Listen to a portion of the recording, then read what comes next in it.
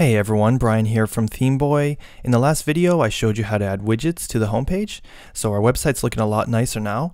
And uh, in this video, we're going to uh, add links to our menu bar, our navigation here.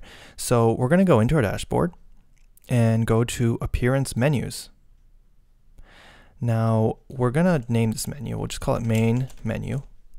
And we'll click Create Menu. It automatically adds the pages that we have here. We probably don't want to uh, repeat home and sample page can go to. We're also going to choose the theme location. In this case, it's primary menu and we'll save menu. So let's look at that. It looks like our menu has been applied here. So we'll go back into appearance menus.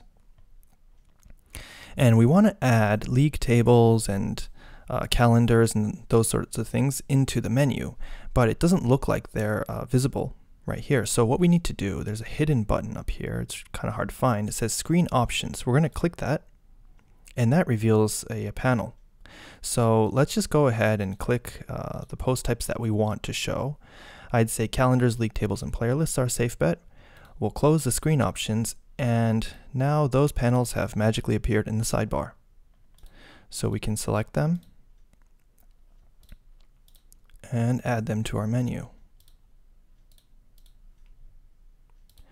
We can also click on the arrow and we can rename these. So I'm just going to call that standings.